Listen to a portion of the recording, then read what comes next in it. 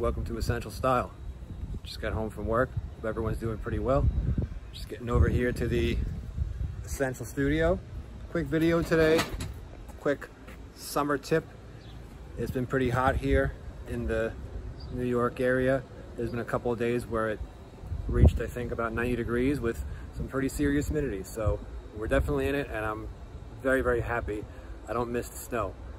So let's get over here to my beautiful background. So if you look at what I'm wearing, long pants, long sleeve shirt, it looks like I'm sweating, right? I'm actually not. Reason being is because I've got a linen shirt on, which is super breathable. And I also have cotton chinos on. And then footwear is footwear, but as long as you don't try to wear, for example, an LL Bean boot or any type of winter boot in the summertime, your feet will be fine. You know what I'm talking about.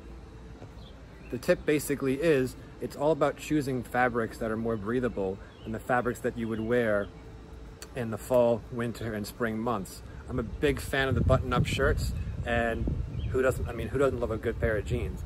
But I find that there's kind of like a point in the summertime, no one's over there, I don't know why I keep looking over there. There's a point in the summer where it gets to a certain point, the weather gets to a certain point where I end up, once I put on my linen shirt, once I just start wearing my khaki chinos again, or cotton chinos rather, khaki is the color, not the actual material of the pants, that's it, there's no going back. And it's the same thing on my days off when I'm not going to work. I just wear shorts all the time. Once I start wearing shorts, that's it. No more denim for me in the summer. And it's the same thing in the fall. Once I just start wearing denim, that's it. I don't, I don't stop. So anyway, so overall, pretty much see it doesn't look like I'm ready to go to the beach or it doesn't look like I'm ready to do anything or I'm ready to go outside in super hot, humid weather, right? Everyone wants to see a short sleeve shirt, a polo shirt, a t-shirt, you know, put on the t-shirt and shorts, put on open-toed shoes, flip-flops, which those I think are for the pool only, but that's another, that's another discussion, another video, another time. But yeah, I mean, it's all about choosing fabrics that are a little bit more breathable. Once again, linen shirt, cotton chinos, boots, summer boots unlined.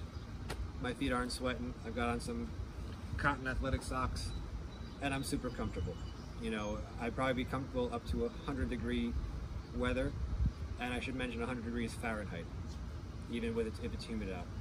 Sure, you're gonna sweat, but it's summertime, you sweat all the time. So that's it. Hope I helped. Just keep an open mind. There are pros and cons to linen, pros and cons to wearing. There's pros and cons to everything in life. And I will do more videos going into more detail of my general opinions and my advice on how to pick materials in the summertime to help you just stay looking great as, as well as being comfortable because anyone can look great but some of these materials especially polyester polyester blends are like super super not breathable at all and you'll you'll stand here you'll just feel yourself sweating it's just it's no fun at all so. And I'm telling you I mean if I was in my cotton Oxford shirt and a pair of denim every time I move I'd be like ooh it's it's hot out today.